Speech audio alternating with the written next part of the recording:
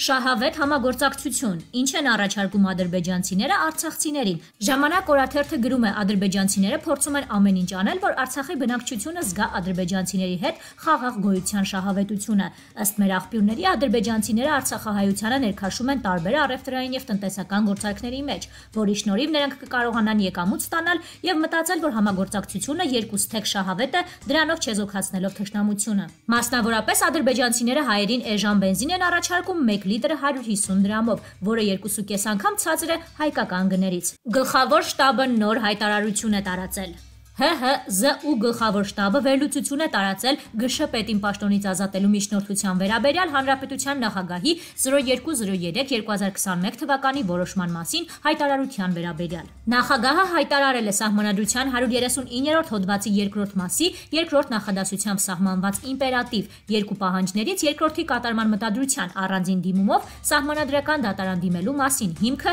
Սահմանադրության 169-րդ հոդվածի առաջին մասի 4-րդ կետը։ Սահման Սահմանադրական դատարանի լիազորությունները սահմանված են Սահմանադրության 168-րդ հոդվածով, որով վերաբերելի կետն առաջինն է օրենքի համապատասխանությունը որոշելը։ Սահմանադրության 168-րդ հոդվածով նախագահի հրամանագրի նախագծի սահմանադրականության կամ ՀՀԶՈ ԳՇ պետին պաշտոնից ազատման հարց լուծելու իրավասություն Սահմանադրական դատարանը չունի, այսինքն նախագահը վերաբերելի իմասով կարող է դիմել Սահմանադրական դատարան բացառապես զինվորական ծառայության եւ զինծառայողի կարգավիճակի մասին 2017 թվականի նոյեմբերի 15-ի ՀՀ օրենքի այսուհետ օրենք, որպես նախագծի իրավական հիմքի սահմանադրությանը համապատասխանելու հարցը որոշելու խնդրանքով եւ ոչ կոնկրետ օրենքի հոդվածի կամ մասի։ Սահմանադրական դատարան դիմելու ժամկետ սահմանադրության 139-րդ հոդվածի երկրորդ մասի երկրորդ նախադասությամբ եւ վերաբերվող մասով սահմանադրությամբ ընդհանրապես սահմանված չէ։ Վերաբերող մասով ժամկետները սահմանված են օրենքի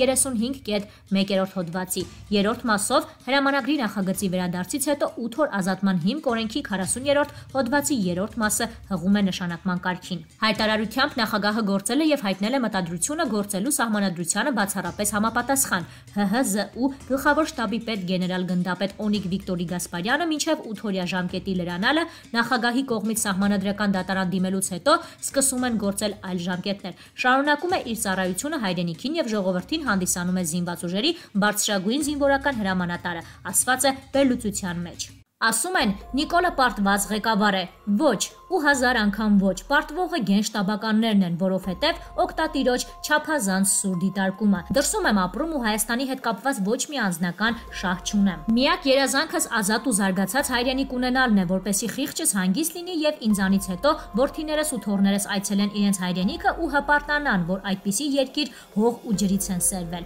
Ուզում եմ, որ դրսում երջանիկ լինեմ իմ երկրի ու ժողովրդի ձեռքբերումներով ու աշխարհը գլուխ խոնարի հայ ժողովրդի հանճարի առաջ։ Facebook-յան իմ ակտիվ ակտիվությունը միայն սրանով է պայմանավորված։ Երբեք չեմ հանդուրժել ու չեմ էլ հանդուրժի հայրենադավությունը, դավաճանությունը, ժողովրդին պարակտելու իշխանությունը բռնի ուժով զավթելու կոչերն ու փորձերը։ Պարզ ասեմ, այսօր Հայաստանում միակ մարդը, որը մեծ հեղինակություն է ու արժանի է հարգանքի Նիկոլ Փաշինյանն է։ Ցավոք երկրի քաղաքական դաշտում նրանից լավը դեռևս չկա, որին ժողովուրդը ճանաչի ու առաջնորդ ընտրի, ում հավատաս Վազգենին, Ռոբերտին, Սերժին, Վանեցյանին, Իշխանին, Արփոյին, Դոդին ցանկը երկար կարելի է շարունակել։ Ծիծաղելի է, սրանք բոլորը վաղուց իրենք իրենց վարկաբեկած մարդիկ են ու ժողովուրդը լավ է հասկանում, որ դրանցը ոչ թե երկրի մասին մտածելն է, այլ աթոռակռիվն է, որովհետև միայն աթոռը խլելու միջոցով կարող են պահպանել իրենց թալանած միլիարդները։ Ասում են Նիկոլը պարտված ղեկավար է։ Ոչ ու հազար անգամ ոչ։ Պարտվողը վարչապետին վերջնագիր ներկայացրած գենշտաբականներն են։ Եթե այսօր զինադադարի պայմաններում նրանք չեն ենթարկվում երկրի գերագույն գլխավոր հրամանատարին, պատկերացնում եմ, թե ինչ ինչպիսի ինքնագործունեությամբ են զբաղվել պատերազմի ժամանակ ու ինչ ստեր են հորինել վարչապետին թյուրիմացության մեջ գցելու համար։ Իսկ իրենք էլ իրենց ծև գործն են արել, որպեսի այսօր հնարավորություն ունենան վարչապետին հրաժարականի վերջնագիր ներկայացնել։ Դժվար չէ հասկանալը, թե այն ժամանակվանից մինչ օրս ում պատվերն ու հրամաններն են կատարել։ Հետևանքը հազարավոր զոհեր ու վիրավորներ ունենք։ Ռուսաստանի սապոկի տակ հայտնված Արցախ ունենք ու այսօր ժողովրդի միսը կրծող արյան ծառավը դեռ չհագեցրած նախկին գազանների վերադարձի սպառնալիք ունենք։ Դե արի գլուխը դիր բարձին ու հանգիստ քնի, դե արի ու մտածի ինչ ուզում է լինի, հերնանիցած։ Իրոք, պինդ ենք, որ չենք խելագարվում այս ազգադավների պատճառով։ Դավիթ Ղամբարյանի Facebook-յան էջից։ Սական հարցերի մշտական հանձնաժողովի 26-րդ արտահերթ նիստը Օրակարգում մեկ հարց ունենք կառավարության եւ Սոֆիա Հովսեփյանի падգամավոր իրենց կողմից ներկայացված Հայաստանի Հանրապետության հարկային օրենսգրքում փոփոխություններ եւ լրացումներ կատարելու մասին եւ կից ներկայացված օրենքների նախագծերի փաթեթում փոփոխություններ եւ լրացումներ կատարելու մասին հարցն է։ Առաջին ընթերցմամբ մենք այսօր առավոտյան քվեարկեցինք ազգային ժողովի լիագումար նիստերի դալիճում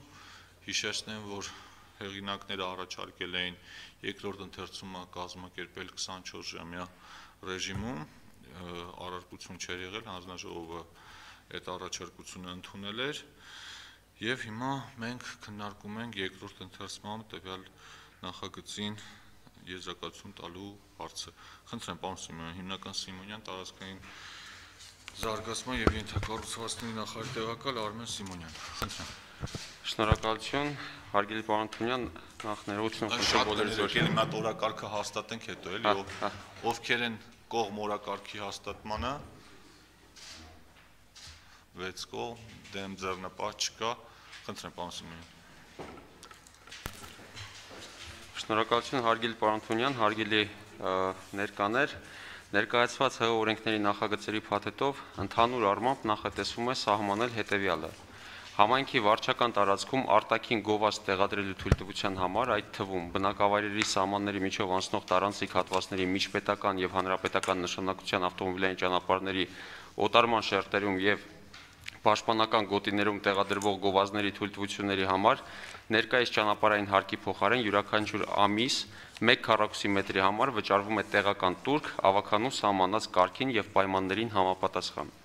միջպետական, հանրապետական եւ մարզային նշանակության ավտոմոբիլային ճանապարհներին, բացառության բնակավայրերի սահմանների միջով անցնող տարանցիկ հատվածներում, ինչպես նաեւ այդ ճանապարհների օտարման շերտերում եւ պաշտպանական գոտիներում տեղադրվող սոցիալական գովազդն ազատվում է հարկումից։ Միջպետական, հանրապետական եւ մարզային նշանակության ավտոմոբիլային ճանապարհներին, բացառության բնակավայրերի սահմանների միջով անցնող տարանցիկ հատվածներում ինչպես նաև այդ ճանապարհների օտարման շերտերում եւ պաշտպանական գոտիներում տեղադրվող դատարկ գովազդային վահանակների մակերեսի յուրաքանչյուր քառակուսի մետրի համար ճանապարհային հարկը հաշվարկվում է սահմանված հարկի 25%-ի չափով։ Եթե գովազդային ծառայություններ մատուցող գովազդակիրը միջպետական, հանրապետական եւ մարզային նշանակության ավտոմոբիլային ճանապարհներին, ինչպես նաեւ այդ ճանապարհների օտարման շերտերում եւ պաշտպանական գոտիներում տեղաբաշխել եւ տարածել է իր կազմակերպության գովազդը միայն արտաքին գովազդային գործունեության մասով, ապա յուրաքանչյուր քառակուսի մետրի համար ճանապարհային հարկը հաշվարկում է սահմանված հարկի 10%-ի չափով։ Շնորհակալություն, խնդրում եմ հաստատել։ Այսինքն, պարոն Սիմեյան, որևէ փոփոխության առաջարկություն առաջինից երկրորդ ընթերցման դուք ինքներդ չեք ներկայացրել, ազգային ժողովի պատգամավորների կողմից չի եղել վերջին 3 ժամվա ընթացքում։ Շատ լավ։ Հարակից զեկուցողը Պարոն Պապայան, խնդրեմ, եթե բան ունեք ասելու։